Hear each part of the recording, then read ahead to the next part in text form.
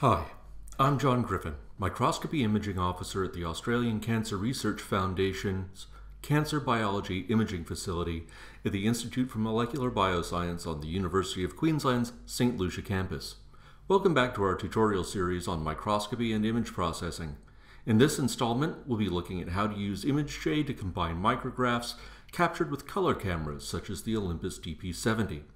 Again, we'll start by opening ImageJ, which I've already got open, and then we'll open our, our images. So I've got a blue image for the nucleus, which I can just drag onto my ImageJ bar. I've got a green image for my actin, and I've got a red image for my mitochondria. Now, if you'll remember in our last installment, we were able to just combine images by going to Image, Color, Merge Channels, and here I can just choose the images that I want from my drop down. So it's smartly assigned the red channel to the red channel, the green image to the green channel, and the blue image to the blue channel. I'll click OK. There's my final image. All I have to do is go File, Save, and I'm done. But we can approach this in a more sophisticated manner. So here, my red image isn't just a red channel. This is an RGB image, so it's made of red, green, and blue. So just like we did before, I can go up to Image, Color, and split channels. And now here's my blue channel, and if you'll notice, there's a very faint blue signal there. I don't want that blue signal for my red channel in my image. So I'm just going to throw it away. Same thing for my green image. You can see, I know this is the green channel because it's labeled green, and you can see I've got plenty of information there. I don't want that showing up in the green channel of my final image. So I'm going to throw that one away too. Now I just have a grayscale image of just the red information from my red picture. I can go ahead and save this one because I'll use it in my final figure. So I'll go File, Save, and I'm just going to save this to the desktop and I don't want that stupid thing after it. Red, we'll just call it Red 2 Grayscale.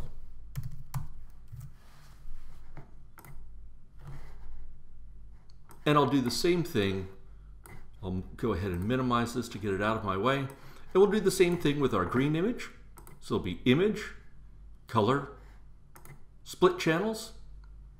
I'm going to get rid of the blue channel. There's my green channel. That's what I want to keep. You can see how much was actually in the red channel too. I don't want that, so I'm going to throw it away. And I'll save my green one. So File, Save or Save As. We'll call this green 2 underscore grayscale. Whoops. I'm going to get rid of that thing that tries to append at the end.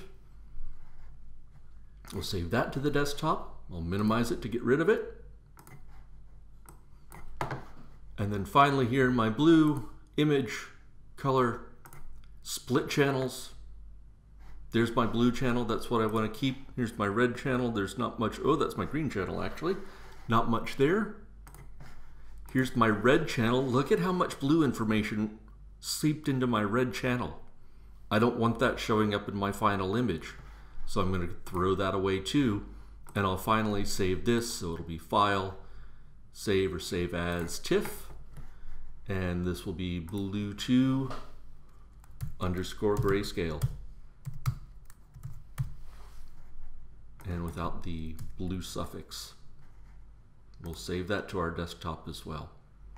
So I've got my three images. I just need to keep it straight in my head which is which. Thankfully I've named them intelligently so I know which is which.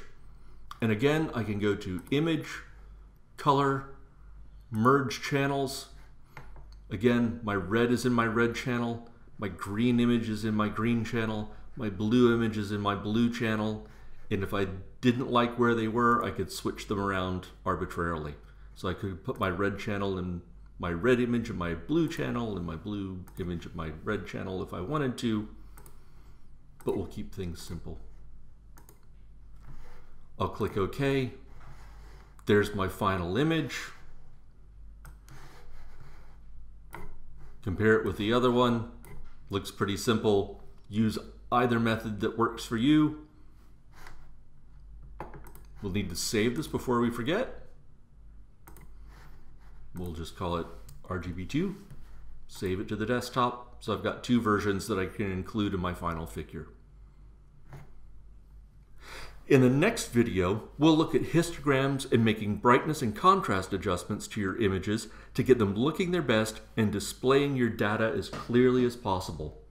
Please feel free to ask questions or leave comments in the comments below. We want these videos to be useful for our researchers, so feel free to make suggestions in the comments for future videos too. If you work at the IMB, you can just come up to the imaging facility and talk to us directly, or you can email us at the usual addresses. Thanks for watching.